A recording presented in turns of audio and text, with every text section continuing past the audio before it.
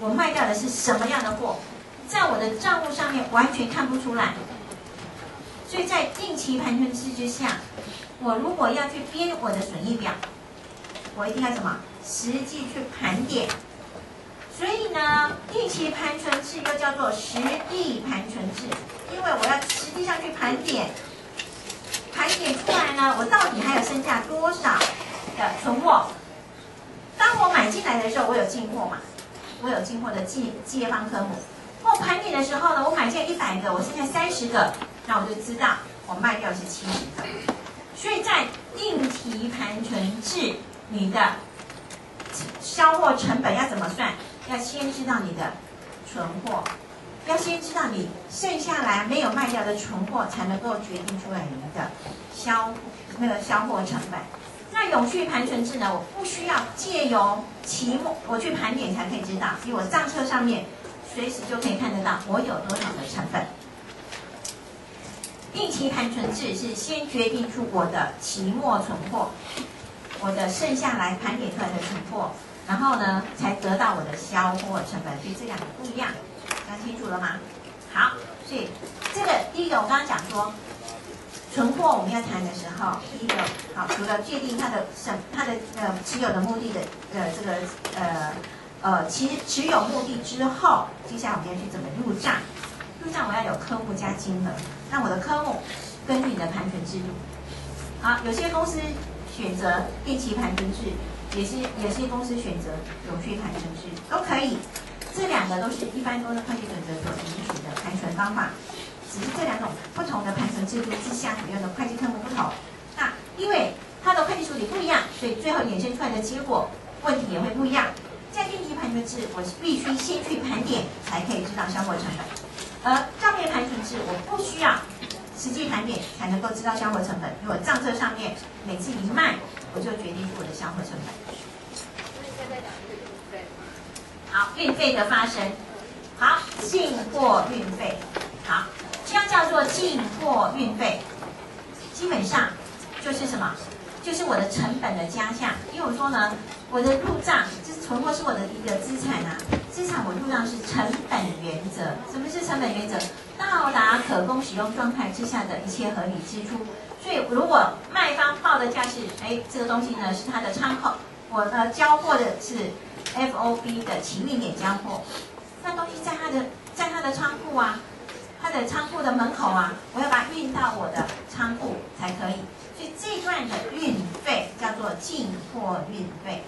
这个进货运费，因为是我要让我这批货到达我的指定的地点，我才能够什么做后续的出售的动作的话，那这段的运费就是我持有这个存货这批商品的成本。好，所以运费在。定期盘存制发生运费的时候，我是借进货呃进货运费贷现金或应付费用。当我编我的报表的时候，记得吗？我们在编我的多债式损益表，销货成本怎么决定出来？期初存货加本期进货成本，本期进货成本怎么决定？本期进货减进货折扣减进货折让与退回加进货运费。得到本期进货的成本，好，加上期初存货就是可供销售商品成本，减掉期末存货，得到销货成本。记得吗？我们在讲初会的时候讲多债式损益表里面就提过了买卖业会计。那时候买卖业会计的损益表就是以定期盘存制的会计处理去解释它的。好。那我们讲，当我们在讲到存货的时候，就告诉你说，存货另外一种它的会计处理方式就是可以采取什么永续盘存制。那在用永续盘存制，不代表你是不用盘点的哦，因为我账面上面的存货的数量，是不是跟事实的实际上存在的一样？我们要是什么？要盘点才知道啊。所以如果我账上说我的存货还剩下十个，最后盘点的结果剩下八个。那你要跟人家讲说，你的存货剩十个，剩八个。你报表上要呈现是十个还是八个？我再重复一次哈，我的问题。如果我的库我的账册上面说，我买进来一百个，卖掉了九十个，好，所以我账册上面的存货还有十个。但是我去仓库盘点，盘点的结果只有八个，请问你报表上面要出现的是八个还是十个的存货的金额？好，八个嘛，因为什么？事实上，你最后能够卖也只有八个啊，对不对？那不见得那两个呢，就是我的存货盘亏。好，那存货盘亏或盘盈，其实都是调整我的销货成本。好，那这个是呃，我们刚刚先跳出来去讲的这个呃问题。好，那我刚刚讲说，这个要盘点才知道期末存货，这个也需要盘点。其实这个盘点的时候，可以知道它有盘，发现是盘盈还是盘亏，所以它可以做存货。如果盘亏的数字太多不合理，他就要去做管理嘛。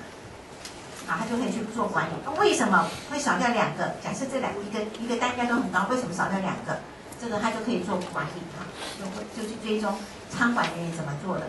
这领货的时候、领料的时候有没有出现什么样的瑕疵？等等等等等，就是他们内部管理上面的一个作业就可以启动。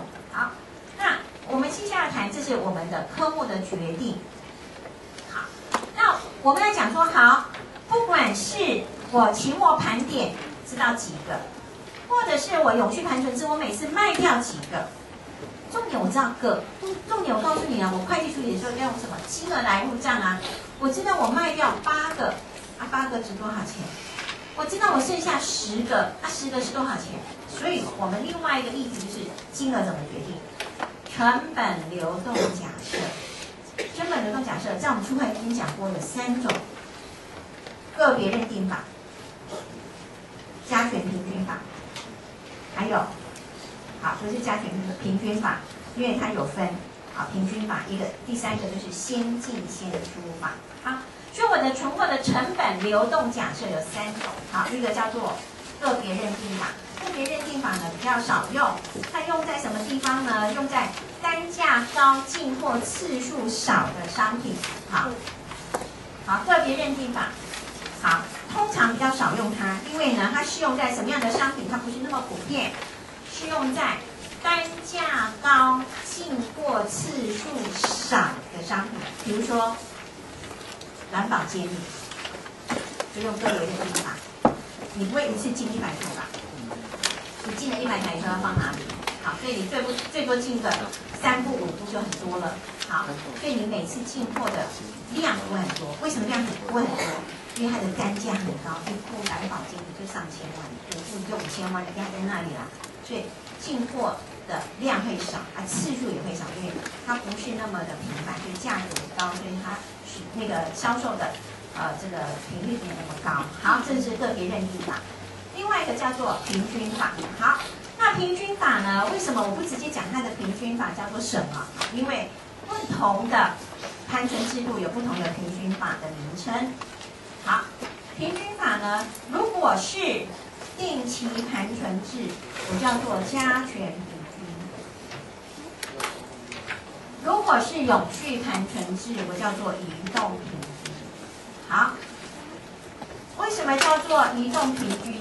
我每一次进货，我就要重新去计算我的平均成本；每一次进货，我就要重新去计算我的平均。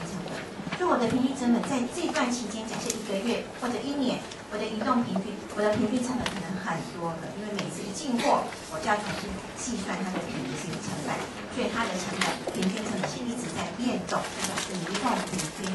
那加权平均呢？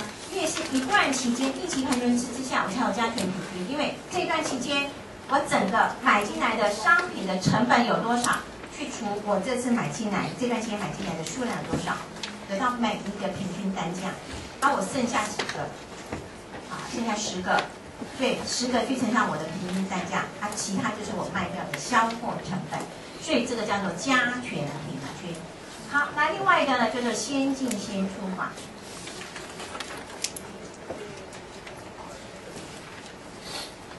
好，先进先出法，不管你是永续盘存制还是定期盘存制，你算出来销货成本跟期末存货的金额会完全一样。好，移动平那个平均法呢？当然你是定期盘存制跟永续盘存制，你的存货的金额不会一样，因为你的平均成本不一样。但是呢，先进先出法之下，不管你是定期盘存制还是永续盘存制。你的存货的金额都一样，你的期末存货金额都一样，代表着你的销货成本都一样。好，只是在永续盘存制，我是每一次的卖掉的销货成本是加起来的，得到我这段期间的销货成本。好，那一期盘存制是我这段期间的销货成本是从期末盘点出来的数量里头去决定出我期末数货、期末金额之后，再去得到我的销货成本，它的顺序不同。这个是先知道销货成期末存货才知道销货成本，这个是不需要的。我的销货成本直接在账册上面就可以知道。好，这样清楚吗？你，刚谁跟我讲十点谁要来搬券？我讲的很紧张。他们在门口，在门口吗应该是。你去叫他们进来，然后我就用搬券。